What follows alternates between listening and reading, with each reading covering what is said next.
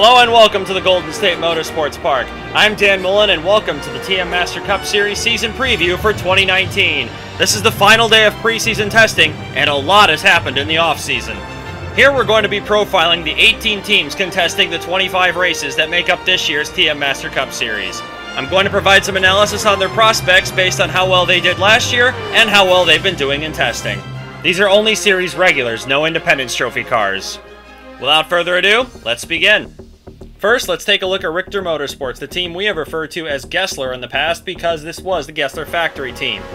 For the past five years, this team has had Finland's Arto Käkkinen and Minnesota's Kevin Dwyer as the two regular season drivers. Käkkinen will return, taking the champion's number one as he claimed the Drivers' Championship in 2018.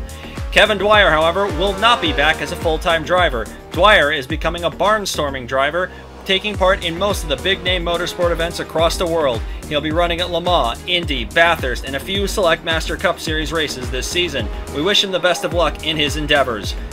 Replacing Dwyer in the full-time role is Mexican rookie Marco Diaz Castañeda. The 20-year-old was last year's TM Lights runner-up, and he performed admirably in his TM Master Cup Series debut in front of his home crowd.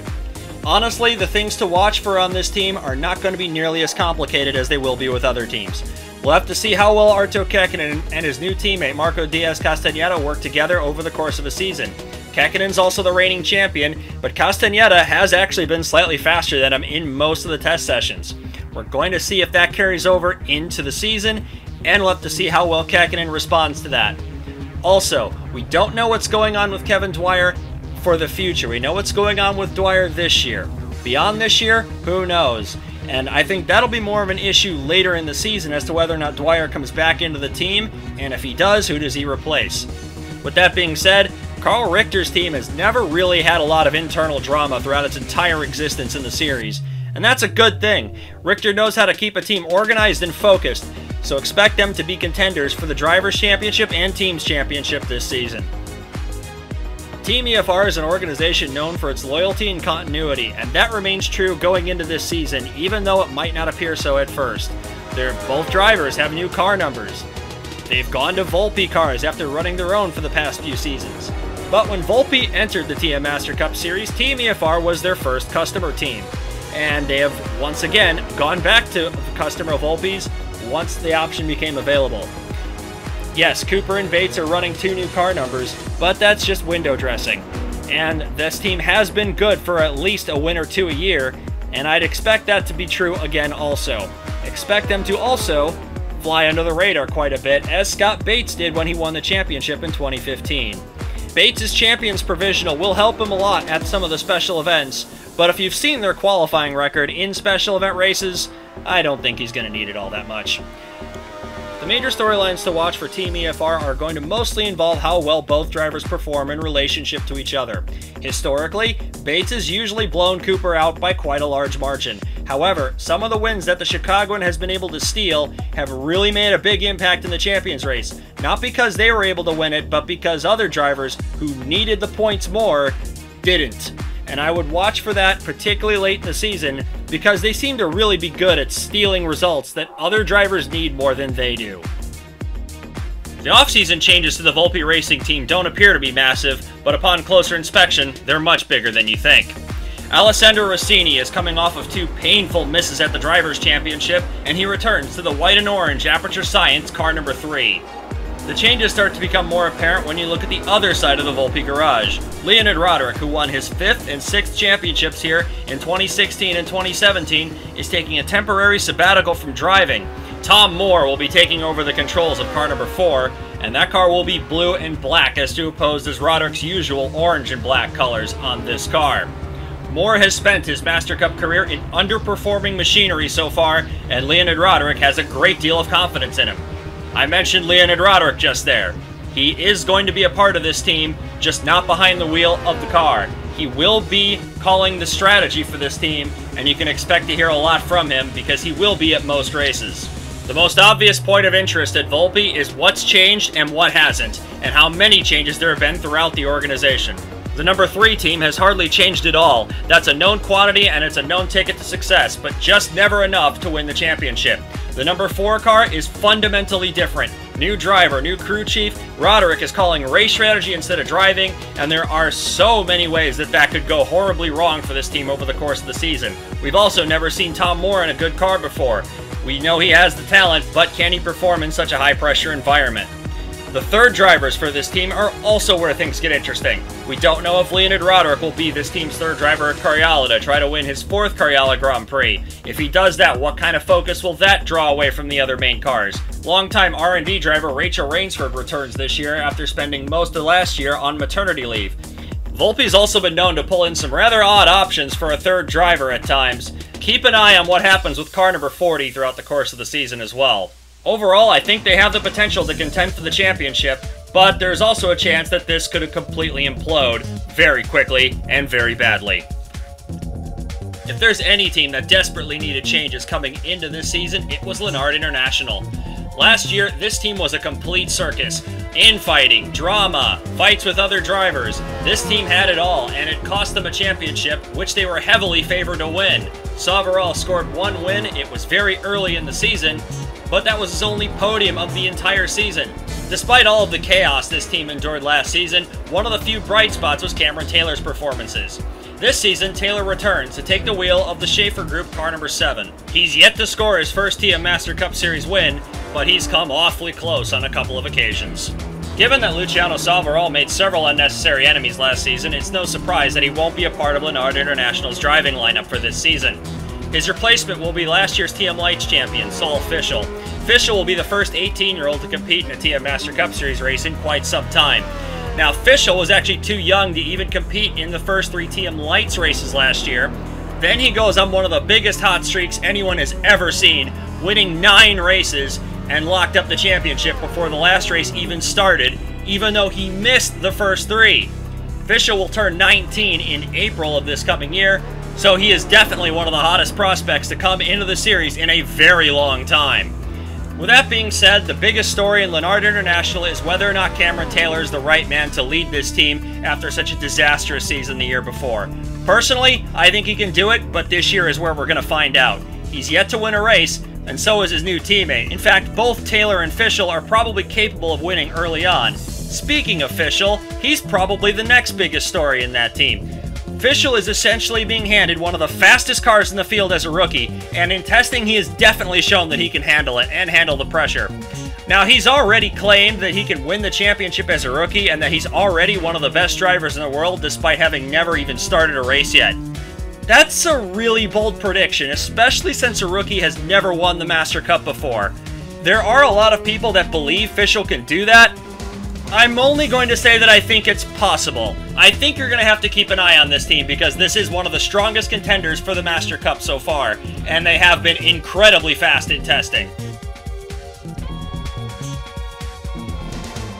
The first SAR team we're going to have a look at is Black Diamond Racing. If you told me last year before the European Tour that Luciano Sauverall would be driving here in 2019, I would ask you how much you've been drinking because of that ugly incident in Carbondale between Sauverall and Black Diamond Racing team owner Mike Rossiter. However, they appear to have patched things up and Sauverall will be heading the charge for them in the Atlantis car number 5. With a sponsor that's new to the series, a driver new to this team who's just coming off of an ugly season last year, there's a lot of pressure to perform well early on here. Thankfully, the other side of the garage is much more stable, with Zelda Ashby returning to car number 55 with the same sponsor and much the same crew as last year. However, that last sentence leads us into the major problem with Black Diamond Racing in the past. They've been fast, they've won races before, but they've never really contended for a championship, even though both drivers they currently have driving for them have done so in the past. Ashby on one occasion, Sauverall multiple times. However, in the past, they've not had as much manufacturer support that they do now. There is no SAR factory team, which means Black Diamond is effectively leading the charge. If you look at on-track results from years gone by, they've been doing that anyway. But what they haven't had is this amount of manufacturer support. If they are to have a major step up, this could be why. Manufacturer support never hurts. What can hurt a team running for the championship, however, are volatile, unpredictable personalities. Unfortunately for Black Diamond Racing, they're not exactly short on those. Luciano Sauverall in particular. Not only that, Mike Rossiter, the team owner, has had his share of confrontations as well with other drivers, other team owners, me, the list goes on. If cooler heads can prevail, however, they'll do fine, and they have done fine in the past. Power Steering Incorporated has always been a very competitive team. While the factory Lennard team seemingly couldn't get out of their own way, Power Steering Incorporated had something of a breakout year. Both of their drivers got into victory lane twice, and both were in contention for the championship until late in the season. This despite the fact that they haven't really been running Lennards, they've been running the Lykoyas, which are slightly different but based off the same platform as the Lennard is. Once again, Kurt Pliskin will lead the charge in car number 16. This car is going to have a multitude of different paint jobs over the season, so don't get used to any of them. Just remember Kirk Pliskin in car number 16. That's a number and driver combo that stayed the same for a decade. Greg Woodard, similar story. There's probably going to be several paint jobs for car number 41. Woodard has always been very fast and very dependable ever since he debuted on the circuit, and that's probably why Lykoya Motors really likes him as much as they do. So funding is not really going to be an issue on the 41 side of the garage. However, the funding for the 16 car is a little inconsistent, and it always kinda has been. Which is a good segue to our first major talking point. While PSI has never been an underfunded team, they've never had consistent funding for those cars every year, which admittedly is a bit of a red flag. That form of sponsorship kind of went the way of the dodo after the mid 2000s. I don't think you're to see as many special paint jobs throughout the grid. PSI is to be the outlier here. Another thing to consider is that 2018 was an absolutely massive year for this team. If they're going to match what they accomplished last year, it's going to require even greater heroics, because so many of the other teams on the grid have stepped up their programs. They're going to be under a lot of pressure to perform early on in order to prove that last year wasn't a fluke. Unfortunately for them, they haven't looked very good in testing so far. But I remember them looking even worse in testing last year, so this might not actually be a problem for them. Last year it seemed like they were sandbagging throughout testing, didn't perform that well in the first couple of races, and then Woodard goes out and wins Carbondale. So it turned out alright for them throughout the course of the season. Also, have a look at their third driver, Woody Watts. That's one of the biggest comeback stories in motorsports in this decade. What do promoters really like? Good comeback stories that sell tickets. I have a feeling for that reason alone, Woody Watts will be getting a ton of promoters options throughout the course of the season. And what can PSI do with an extra car on the grid? They have the opportunity to get a lot of extra data that they can use to make the entire team faster that much quicker. One of the most highly anticipated new teams on the grid is Matthews Motorsports, based out of New England. This team's driver lineup almost feels like a bit of a throwback in some ways. Ryan Matthews is an owner-driver, he's in his 40s, but he's also got a good business sense that some of the owner-drivers in the 90s and 2000s just didn't have. One look at his resume and the Independence Trophy and in FARC really should tell you that he is a very qualified race driver. He's done incredibly well in special events over the past few years as well. Alongside him will be Ben Atkins. The English driver has spent a few years bouncing around different teams. He started his career at Tutino, spent a couple years at the old Manticore engineering team, but this could be a big break for the former Dash Cup champion. Atkins has shown a decent amount of pace that wasn't expected of this team in testing, and it wasn't single lap pace either, it was on long runs, so that's a good sign going forwards. This is ostensibly an R&D season for Matthews Motorsports. They've never competed full-time at this level before, the car has never competed full-time at this level before, and both drivers have never quite tasted success, but both are capable of doing it. The measuring stick is not really going to be about can they win now, it's about can they set themselves up to build a juggernaut for the future. Maybe they can exceed their own expectations down the line. I think it's a bit unreasonable to suggest that they'll have a really good run at the championship, but that's not really the goal for this team this year. The goal is for them to just improve, because there really aren't that many expectations, because there really are so many question marks around them. Perhaps the only question they don't have to answer is financial stability. They're going to be in pretty good shape going forwards, and that's much more important than you think it is. At face value, it may appear that Walter Racing is a totally different team than it has been for the past five years, but nothing could be further from the truth. While yes, they do have an all-new driving lineup, most of the other key personnel on the team are still there. After a few near misses at winning a fourth Master Cup with the team, Adrian Devereaux took his services elsewhere. Likewise, Melanie Clavino left the team after not being able to recapture her 2014 form.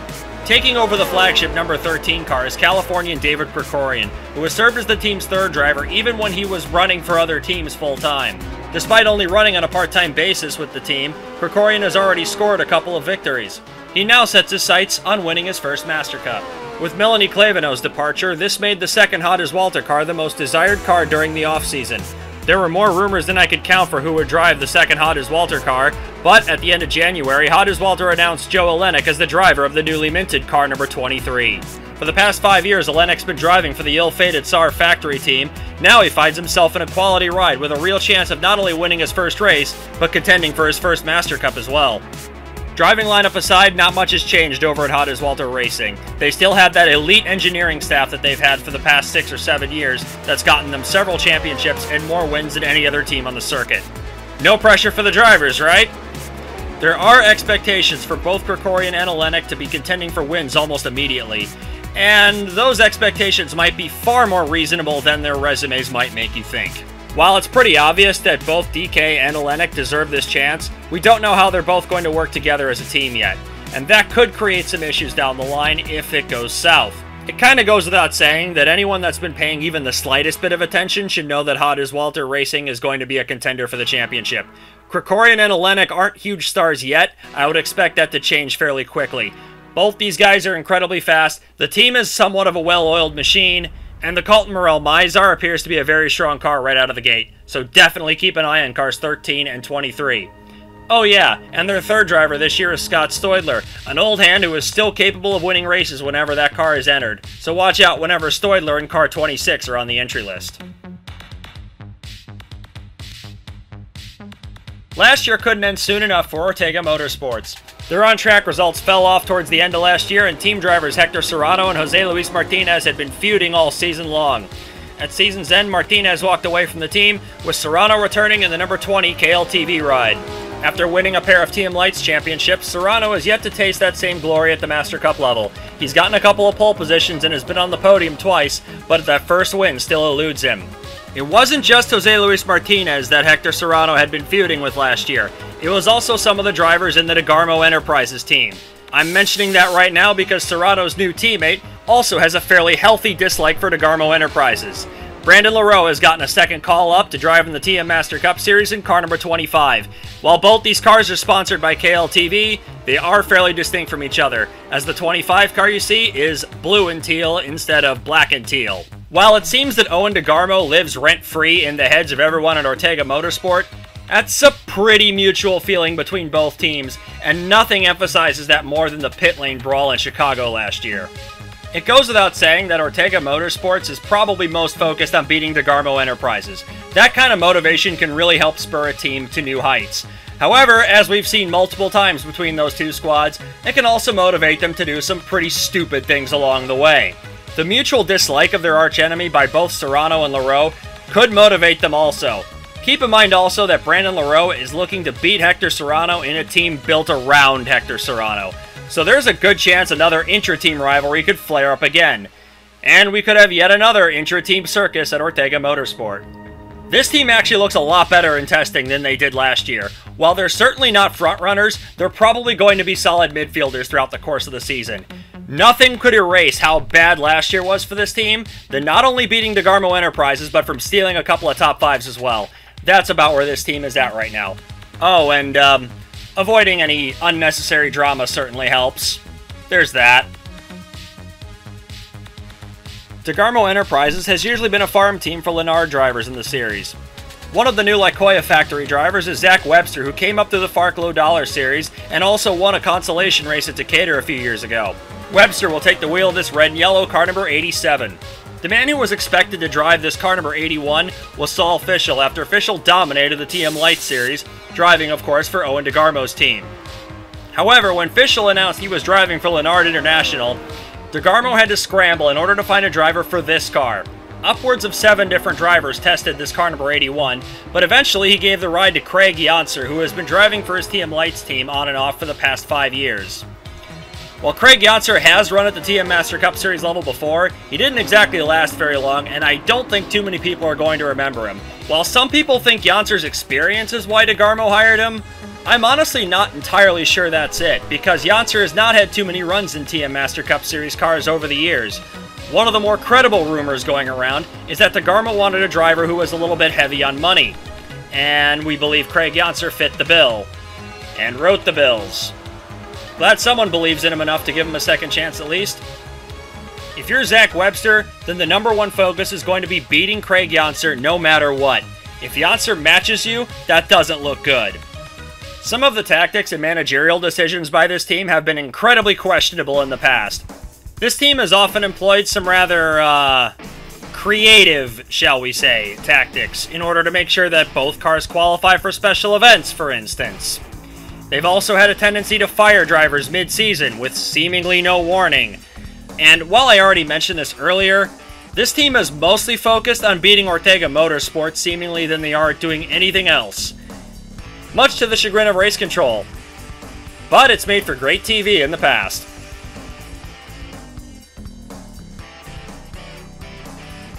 New Liberty Racing may be a new name to most fans, but this is not necessarily a new team. But after a miserable 2018 that saw this team miss two races for financial reasons, Ivan Katz Katsev sold the team to 2007 Drivers Champion and last year's Independence Trophy winner Tony Durbin. Durbin renamed the team New Liberty Racing, and he returns to the cockpit full time to lead the team not only off the track but on the track in this black car number 12. Durbin returns to the series after making a mockery of the ASCC last year as well. And I have to ask a two pronged question Is Tony Durbin ready to come back full time? And is the rest of the field ready for him? When Tony Durbin bought out Katsev Engineering, there were still a lot of holdovers that he left on the payroll. One such example is driving alongside him as his teammate. Russian fan favorite Yevgeny Kuznetsov returns for his sixth season with the team, and despite new ownership, Kuznetsov's car will still carry number 15. Although he's still searching for his first career victory, New Liberty Racing could be his ticket to victory lane. However, if this team is going to crack into victory lane, it might not be right off the bat at the start of the season. Last year, when the customer car rule was lifted, Katsev Engineering ran Colton Morel cars. They weren't particularly successful with them, and New Liberty Racing predictably has switched over to SARS. While this team is getting a lot of support not only from SAR but from their fairly healthy sponsorship checks, they are the only team to be located in the Charlotte, North Carolina area. And there haven't been many successful TM Master Cup Series teams to be based out of that area in quite some time. Most of the field is based in the Indianapolis area. There are a few teams in Illinois, a few teams in Ohio, and Black Diamond used to be in Pennsylvania. And while Matthews Motorsports is based in New England, that team is building everything in house. New Liberty Racing is not. At least, not immediately. So they could be a little bit behind at first, but not for very long. The driving lineup here is pretty solid. Tony Durbin's a proven champion in multiple categories, and again, he did win the Independence Trophy last year with his own team. The third driver situation for this team is a little bit murky. They haven't announced anyone to drive the third car yet. However, these are the drivers we know have talked to the team about driving that car. Any one of them could have a run in that car, or potentially none of them, and it could be someone we haven't considered yet. And there's a healthy amount of veteranocity there, but also quite a few inexperienced guys as well. We'll have to wait and see what happens with that car. Either way, it's a third car, don't worry about it too much. While a run at the Drivers or Teams Championships might seem a little out of reach for these guys, don't be surprised if both of them are well inside the top 20 in the final point standings, or don't steal some big results towards the middle of the season, because there is far too much talent on this team for them to languish in the midfield for very long. Tony Durbin might be over 40 years old, and Yevgeny Kuznetsov might have been written off by most as nothing more than a pay driver. However, both of these guys are capable race drivers, and not only that, they seem to get along pretty well, that might seem a little odd knowing who Tony Durbin is. I think the cooperation between both drivers is going to help both of them immensely as the season progresses. The next two teams we're going to talk about are the result of multiple teams fielding an entry together. In other words, instead of it being one two car team, these are two one car teams sharing a full time entry. The series is not altogether happy about this arrangement, but they're allowing it to proceed. Of the two, Lawrence Gravity Racing has significantly more cohesion than the other team in question. The Lawrence part of the team name comes from Frank Lawrence, and for the past five years this was known as the American Launch Energy Racing Team. When Launch Energy pulled its sponsorship back, this team went into somewhat of a death spiral. They had to scramble just to get one car ready to start the season, and here it is, car number 34 with German driver Lucas Grabert behind the wheel. It's a little hard to say whether or not Grabert is a bad driver choice or not, because honestly, this is a rookie driver being thrown to the Wolves. This is a team on the verge of collapse, and hiring a rookie seems like a bit of a mistake. Unfortunately, that does mean it's going to be very hard for us to judge his performances because we're not entirely sure what he's going to be capable of. The other half of the team, though, is thankfully a little more predictable. The Gravity part of the team name refers to Gravity Racing, the very strong minor league team owned by Packer Carroll. And when Carroll left Volpe Racing Team, it appears that Carroll and Volpe hadn't entirely cut ties. And that's why Carroll is not only here with Lawrence Racing to form this team, but why they got a discount on old Volpe cars. So while this team is going to be running some old machinery, they're getting a very good deal on it, and that seems to be what was most important to Frank Lawrence. What we don't know is how independent the 34 and 71 cars are going to be. If they can find a decent amount of cohesion, this team might not be as bad as they appear to be on face value. There is a very high potential that Packer Carroll might absolutely blow Lucas Grabert out of the water, even though Grabert himself might not be doing that bad of a job behind the wheel of that car. So there could be very inconsistent performances across the team, but we have to remember that this is really two teams as one entry sharing the same cars. The cars themselves are year-old Volpes, don't expect any world-beating pace from them. Not to mention that reliability could be a big problem for this team because these are second-hand cars, and a couple of them were actually run last year as well. All of the third cars that this team is going to be run are probably not going to be from Lawrence's shop. They're probably all going to be extra gravity racing cars because they have the extra infrastructure to run them. As for what this team's goals are, for Packer Carroll, it's to continue working with the 34 car and to try to form some kind of cohesion between the two entries. And for Lucas Grabert, this is probably going to be a very long rookie campaign. Best of luck. You're going to need it. Where do we start with Tenere Motorsports? While Lawrence Gravity Racing might be a two-car conglomerate, Tenere Motorsports is actually three teams merging together. I'm not entirely sure how this is going to work out, but we're going to find out. The only one of those three teams that looks remotely stable is Daniel Lecklider and Lecklider Motorsports with car number 10. This should be a pretty easy car to spot on track, and Lecklider himself is a good driver and a good team manager. This third of the operation really shouldn't be much concern. However, I can't exactly say the same for everything else in the team. This Orange 79 car is the old Clayson Enterprises team, and it's going to be driven by Clay Gibson for the first four races of the season. Beyond that, we're not entirely sure because this team is having some sponsor issues. And when I mean this team, I'm specifically referring to the 79. The 10 is well covered in sponsors. The third part of this triumvirate is not on track here today, and it's Team Thunder, and they're serving as mostly the R&D team for Tenere here. They haven't been in attendance in any of the preseason tests yet, and that's a little concerning as it is, but if the Clayson Enterprises car goes away, then it's likely that the Team Thunder car will pick up the slack. However, that's assuming they even know who's going to be driving that car. It's really odd for a factory-back team, and you can put the word team in air quotes if you like, to be such a mess coming into the series, especially considering that Tenere was a powerhouse in the Independence Trophy for a while. The only third of the team that looks stable is the Lecklider Motorsports car number 10. There are funding issues throughout the entire rest of the organization, and I don't know how long it'll be before some of those start affecting Daniel Lecklider's team. This team is a factory outfit. They're only going to be able to get support from themselves. The car hasn't looked particularly good in testing, and they look like they're already kind of spreading themselves too thin between the three cars. This could be a really long year for them, especially since nobody else in the field is running the Tenere car. If a team is already showing funding problems this early, that's also not a very good sign. And that could be what plagues this team very early and very often. And if the Clayson car withdraws early in the season, then the Team Thunder car is likely going to take over that spot. You may notice that notation on third drivers. This is everyone that we know of that has auditioned to drive the Team Thunder car or has tested with them privately during the offseason. That's a pretty long list of names, and I don't think half of them will be able to get a run in that car. The most likely driver to get a run is Daniel Sharp. Beyond that, well, Matt Taylor spent one weekend with the team at Road America, and then he promptly left and said he was never going to drive for them, but yet he's still reportedly in consideration for the drive.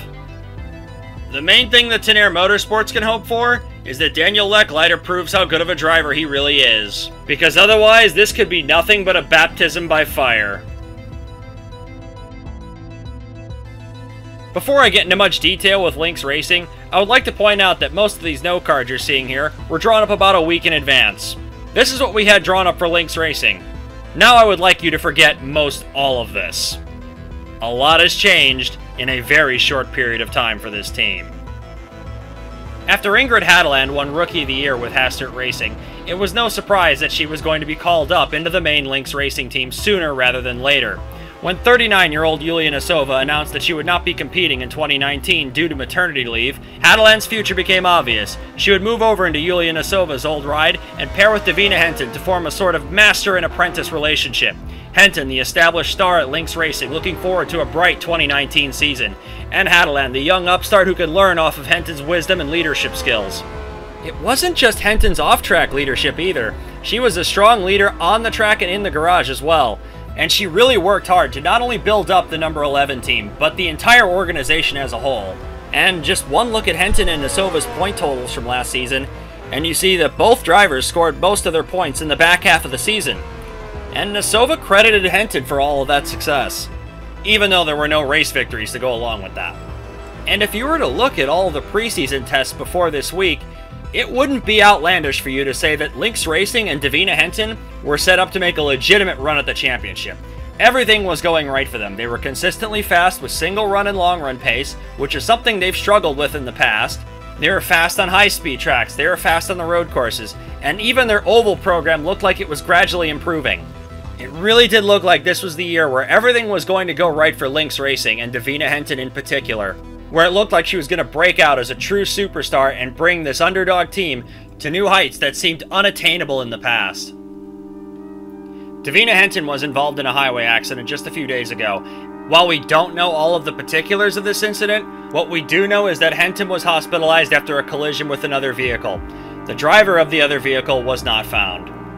Lynx Racing did not announce a timetable for Henton to return to the TM Master Cup Series, and immediately speculation went around as to who would be brought up into car number 11. Quebecois driver Claire Aussier was announced as the interim driver for the 11 car, but an admittedly questionable outing by Aussier on the first day of testing here at Golden State Motorsports Park led Aussier to remove herself from the conversation of being Henton's relief driver.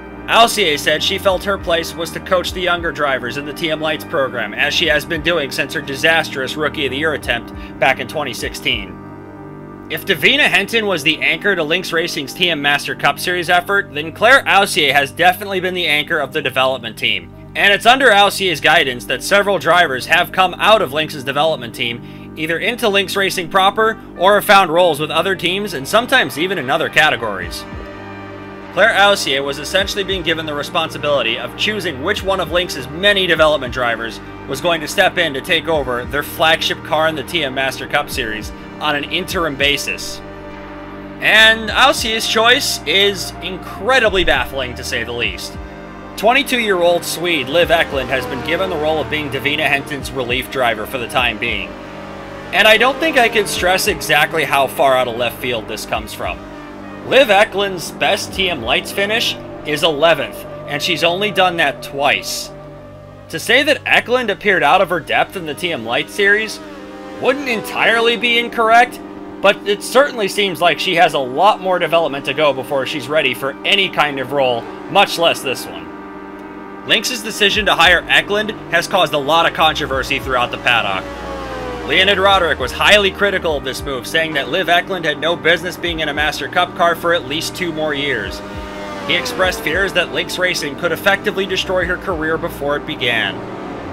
Tony Durbin has insisted that they could have found a competent driver had Lynx Racing actually hired a male driver for a change. Lynx Racing, of course, has only hired one male driver in its entire existence, Chris Davenport, and he's signed to another team already going to cut this a bit short since we've already talked for a long time about Lynx Racing, but they have new national-themed liveries for their two cars this season. Ingrid Hadeland, a sophomore driver in the TM Master Cup Series, but a first-year driver in the main team proper, is going to be the team leader. There are so many ways that this could go wrong, especially in a team as fast as Lynx Racing supposedly is. Then we get to Liv Eklund, and Eklund has not looked very good in testing at all. Two years ago, Liv Eklund was running in electric cars. Then she ran in TM Lights last year, didn't do all that well, but now here she is on the biggest stage possible. Eklund doesn't really have a plan B here. She doesn't have a TM Lights ride lined up, although I suspect that once Henton comes back, Eklund will be moved back down into the TM Lights car. But we haven't been able to confirm that from Lynx Racing themselves. Also, it already appears that Liv Eklund and Ingrid Hadeland could be every stereotypical Scandinavian sports rivalry ever. And that is the absolute last thing that Lynx Racing needs. Eklund and Hadeland have already started to chirp at each other in the press and on social media. Oh, there are so many ways that this team could implode. I hope for their sake that Davina Henton isn't out that long, because at the rate this is going, this is going to be an absolute disaster. I wish I could say something hopeful here, but the only thing I can say is hold on tight. It's going to be a wild ride over there. Team Timothy makes a return to full-time competition for the first time in almost 15 years. The last time they competed full-time on the Master Cup circuit, Dan Timothy was both the owner and the driver, these days, however, he's just a team owner, and he's built a very competitive outfit in the lower categories. His drivers have won races and championships in TM Lights, and new for the season, he started up a FARC Low Dollar Series team. With all of that expansion in mind, it might be a bit of a surprise that he started a TM Master Cup Series team as well. And originally, this was only supposed to be an Independence Trophy outfit. However, when Maximus Racing looked to be in very shaky grounds and looked like they might not even make the beginning of the season, Team Timothy bought their entry in December effectively trading their Independence Trophy entry for Maximus's full-time entry. That means that Team Timothy's famous number 68 will return to the grid on a full-time basis. Nebraskan corn magnate and longtime motorsport fan Dale Cottenham has put his money behind car number 68, resulting in this very colorful livery. New Jersey journeyman John Dilks will be the driver of this car, and he hopes to have a much more stable season than what he's had in the past. And that's not the only colorful livery over at Team Timothy. This green car here, car number 711, is going to be driven by Ike Durbin, finally giving him a chance to run full-time, an opportunity that is long overdue. And as much as Ike Durbin probably hates hearing this, I have to point out that there's no relationship between him and Tony Durbin, or between him and fake progressive slash scumbag Dick Durbin. Because Team Timothy didn't even know they were going to be competing full-time until December, you really should have modest expectations for this team at best. John Dilks has never had a stable drive before, and this is Ike Durbin's first time running full-time in the TM Master Cup Series. If this team stumbles out of the gate and has a really slow start to the season, I don't think anyone's going to be surprised. In fact, I don't think they're going to be surprised. However, what I think will be alarming is if they stay that bad throughout the course of the season. This team is probably going to start the year running year-old cars, and that has to be taken into consideration as well. Once they do show up with new machinery, however, it'll probably be a big improvement over what they're running right now. There are a lot of question marks and fairly low expectations for this team, so if both drivers total to about 100 points, then that'll be a good season for them. While that prediction does sound like I'm not giving this team a whole lot of credit, that's not necessarily the case, because Dan Timothy is the only man I could see getting a team like this onto the grid and having them still be a respectable outfit. The back of the grid can be a very unforgiving place. Best of luck, gentlemen. Ever since its inception in 2016, the Ohio-based Hastert Racing has been a good destination for rookie drivers. In the past, they've mostly been affiliated with teams running Gessler engines, which they have used also. This year, however, it's a different story. They've moved over to SARS. This is the team that Ingrid Hadeland won Rookie of the Year for last year. This year, they're bringing up two more rookie drivers, the first of whom is Chuck Johnson out of the FARC Series. Johnson might appear to be a bit old to be a rookie in the TM Master Cup Series, but Hastert scouted him out for some time, and they brought him up to the series when he was ready. Yes, it could mean that Johnson doesn't stay around the series as long as someone else, but clearly, he's ready for the Master Cup Series and he deserves his chance. He'll take the wheel of the Kellersa car number 32. Behind the wheel of car number 33 will be another graduate of the FARC Low Dollar Series. Timothy Ruiz is a comparatively unheralded driver, but Hastert Racing scouted him out during his time in the FARC Series. They liked what they saw and they decided to give Ruiz a chance. Ruiz and Johnson look to be very evenly matched, and they could surprise some people throughout the course of the season. In previous years, there's always been at least one driver at Hastert Racing that everyone had been talking about. Not so much this year. I think a lot of people are underestimating what Ruiz and Johnson are going to be able to do. And I definitely think they're motivated to shock the world. Another challenge that's worth noting is that Hastert is switching over to SAR cars. This comes after several years of becoming familiar with not only the Gessler motor, but the chassis last year as well. So that could be a big challenge for the team, particularly early in the season. It's highly unlikely that this team will have either of its cars in victory lane this year or even on the podium. Their best result was a pair of eighths last year by Hadeland, and those were already considered great results at the time. I think what Hastert Racing is going to be looking for is for both its drivers to total up to about 150 to 170 points. They're probably going to spend most of their time in the lower midfield area, one final note, it's really not that often that you see a brown race car either, so props for a distinctive color scheme if nothing else. The oldest team competing in the TM Master Cup Series could not look any more different than it has in years past. Team Principal Thomas Mitchell is stepping down from the role he's held since 1956. The man taking his position is his grandson, Randall Mitchell. While that does make the name of this team a little bit of a misnomer, Everything else involving this team will make you forget about that very quickly. Behind the wheel of this beautiful royal blue and silver car number 17 is Chris Davenport, the Californian returning to the Michelin Sons for another season. Davenport had a couple of podiums towards the end of last year.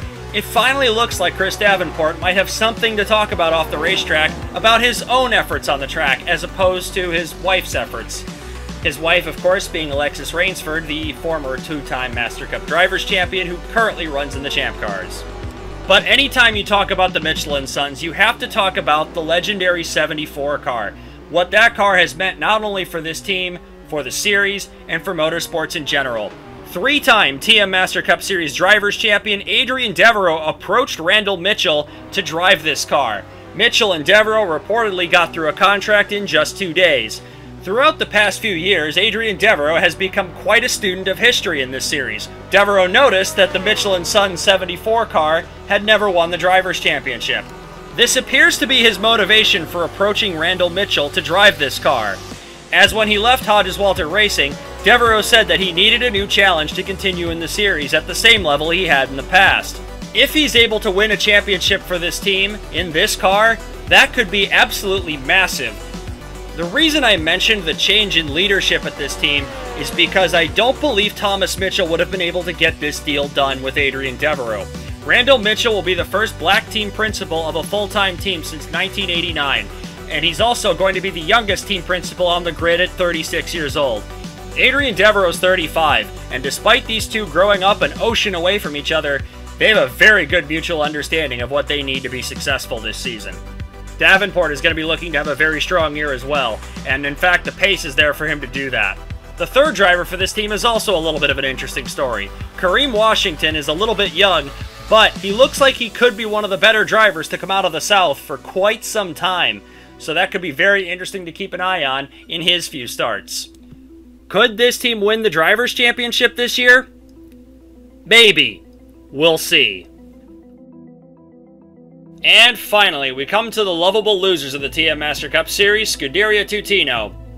I have to stress the lovable part of that because Scuderia Tutino is one of the most popular teams in the paddock, not only for some of their workmanlike efforts with their own cars, but also in how much they help other teams in need, even when they really aren't in a position to do so themselves.